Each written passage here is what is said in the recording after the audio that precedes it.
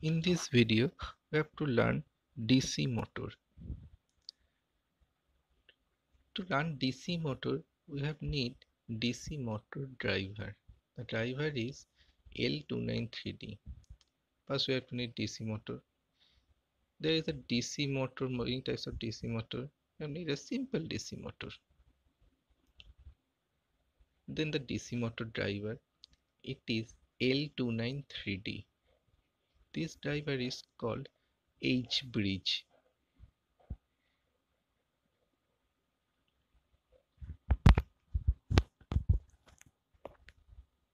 This driver can run two DC motor.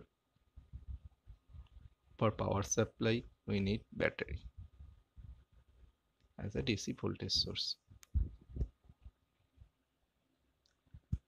We need some logic state. This logic state is decide the motor run in which direction. We find the logic and find what is logic state. Logic state means 1 and 0. There is two types of logic. Logic 1 and logic 0. Here is logic state.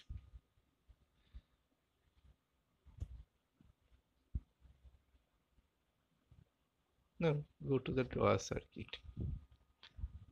First, you have to put L293D here. Then put battery here. Positive side of battery is connected to 16 number pin and 8 number pin. And the negative side of the battery is connected to the ground of the IC. And also en1 and en2 are the enable of the H bridge. For en1 is for first H bridge and en2 is the second H bridge.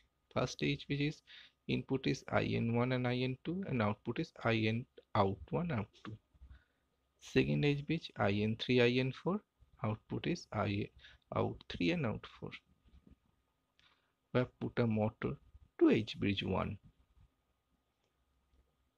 if the enable is 0 means if the enable we have to connect to enable is the position is ground then the H bridge is disabled.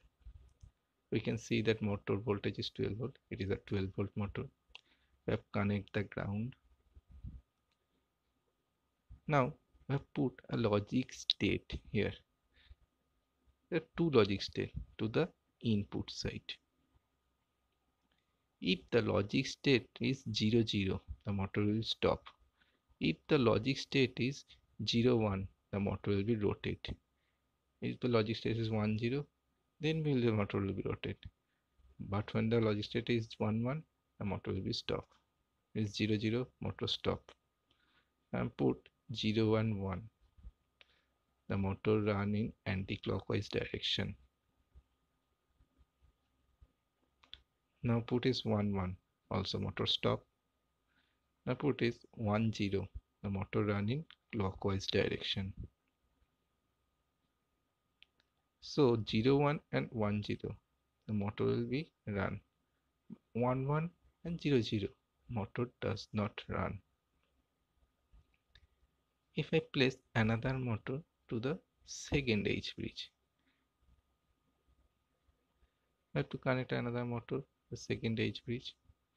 Also another logic state to the second position of the H bridge input side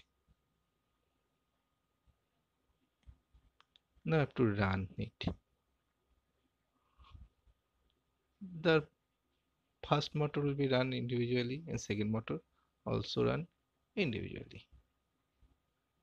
The same logic is here for second state two motor will run at the same time no problem in here. This L293D is called motor driver IC thank you